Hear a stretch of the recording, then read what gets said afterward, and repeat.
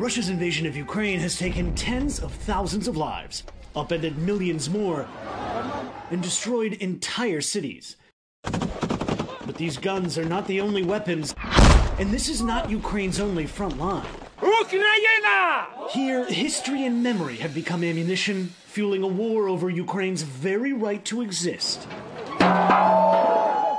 специальной военной операции.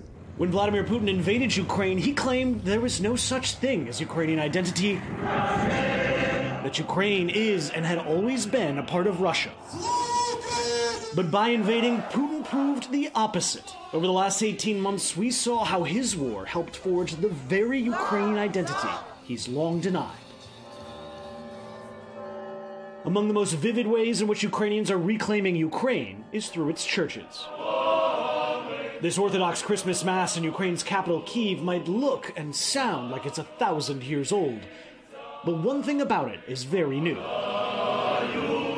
It's the first time in centuries that this service has been spoken in the Ukrainian language rather than Russian. That's because the Moscow linked church that once called this magnificent 11th century monastery home has been evicted. Now, Ukraine's own Orthodox Church is celebrating here. This is the first time this church is celebrating here. How do you feel about that? I couldn't believe it. Tears appeared in my eye, and I cried and rejoiced and shouted and said, God, I lived up to this day. I asked God for one thing to live to this day, to hear a prayer in Ukrainian, right here. The loyalty of that Moscow linked church has lately come under official suspicion. Their church is raided, their clerics arrested. Ukraine's theological revolution hasn't been without controversy, even sometimes coming to blows. But for many Ukrainians, it's time they reclaimed their religious independence. How does it feel to hear Mass said in Ukrainian at this church? For us, personally, as clergy, it's similar to the deoccupation of Ukrainian lands. Likewise, the spiritual deoccupation of the church took place today. The date Christmas is celebrated also became part of the battle. Some Ukrainians decided not to celebrate on January 7th, the Orthodox holiday. Instead, they celebrated earlier, when most Western Christians observe the holiday. Lesia Zadilska and her whole family huddled for a traditional feast on this non traditional date. The electricity was out. Russia's bombs had been targeting the power grid. One of key reasons for us because it's culturally uh, closer to what we want to uh, celebrate, and um, and also that we feel closer uh, culturally to uh, the Western world uh, than the Orthodox world. So, is this a rejection of Russia and an embrace of the West? It's partly like that. Both churches are almost theologically identical. Their shared roots date back a millennium to a medieval Slavic state known as Kievan Rus. This opera depicts one of its great early leaders, Yaroslav the Wise. It's a common history Putin has weaponized, claiming modern Russians and Ukrainians are one people, with Moscow their spiritual and political capital. But he was hardly the first. Successive Russian leaders have long tried to deny Ukrainian identity. Moscow viewed it as a dangerous threat to Russian unity. So, when Ukrainians stage a play like this one, are they reclaiming their identity, their history? Yes, these works of art are very important for restoring our identity, which had been erased for centuries, first by the Russian Empire, then by the Soviet Union. But for Putin and his people, Ukrainian nationalism also represents a Western invasion. He believes American and European cultural expansion have infected Ukraine, eroding traditional Christian family values. At the top of Putin's cultural hit list, the LGBT community. The Russian leader and his allies have persecuted sexual minorities at home with homophobic laws and even election campaign ads. Так вот она, твоя новая мама. It's an irony that Putin's invasion and anti gay rhetoric has actually improved gay people's standing in Ukraine, which has had a history of homophobia. Putin's invasion has brought many gay and queer Ukrainian men and women to the front lines, where their patriotism and professionalism impress the public and softened homophobic attitudes. The invasion changed it a lot, actually. How do you think the invasion changed it?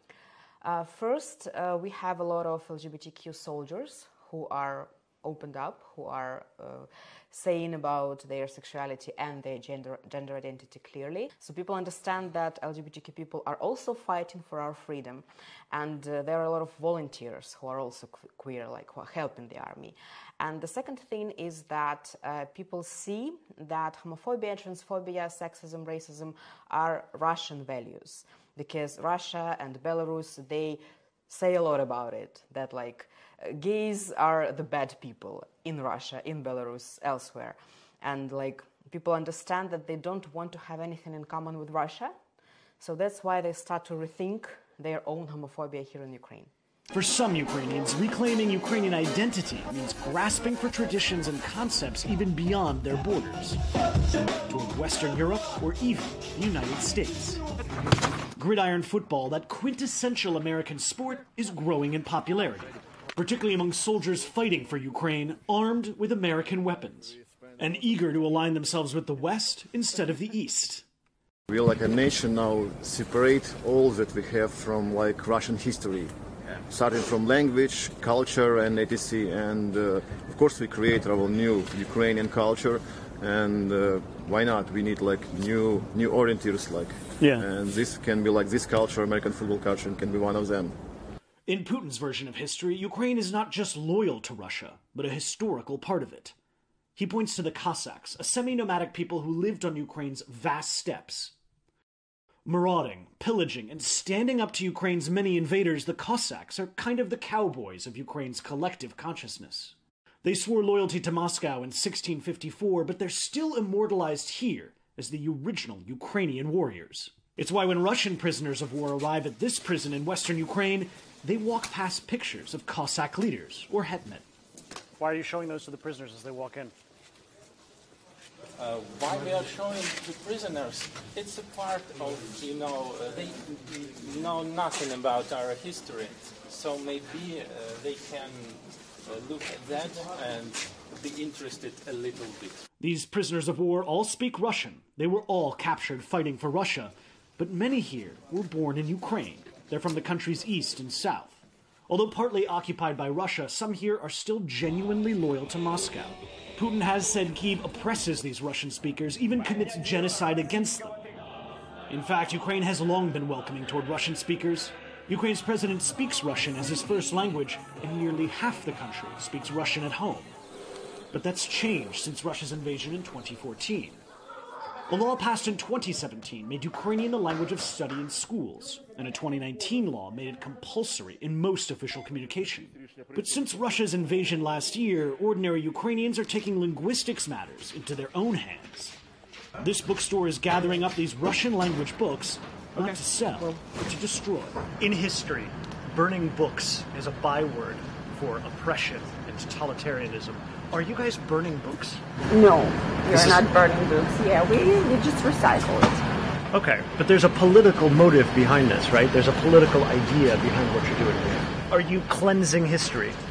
Uh, no, we're not cleansing history. We were occupied by the USSR for a very long time, and our people were just waiting, waiting for a time that we can talk about that and remove some of the consequences of it. Even if Russia and Ukraine are now enemies, their histories are so closely intertwined it can be difficult to untangle. A huge proportion of Ukrainians either speak Ukrainian as a second language or struggle to speak it at all.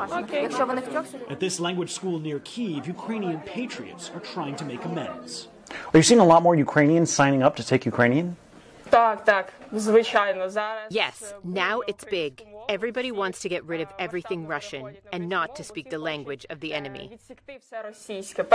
For some here, embracing Ukrainian means changing the way they speak, their names, even the language in which they think. You're a Ukrainian. I am. You're here to learn Ukrainian. That's right. Why? My country is Ukraine, and I want to speak the national language of my country. Yeah. yeah right. Uh, when when we go to Spain, for example, people who live there, yeah, they speak Spanish. Sure. So why should we speak Russian, which is not our language?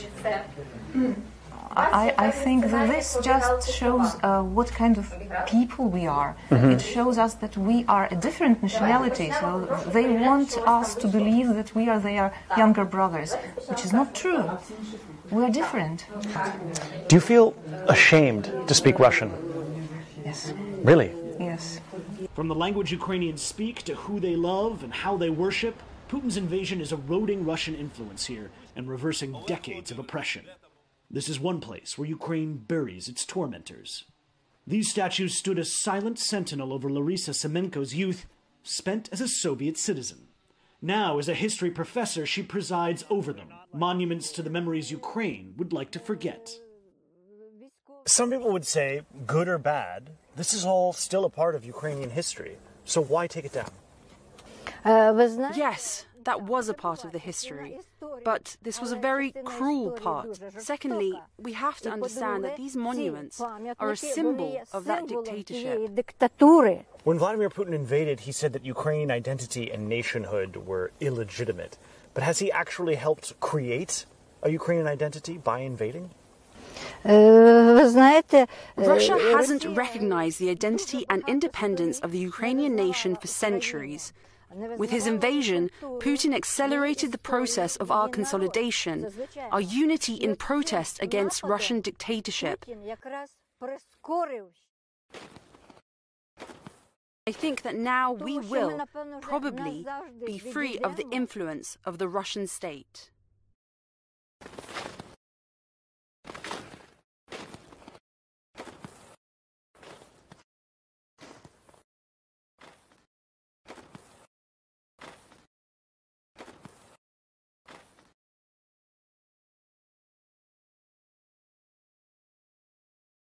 Thanks for watching. Stay updated about breaking news and top stories on the NBC News app or follow us on social media.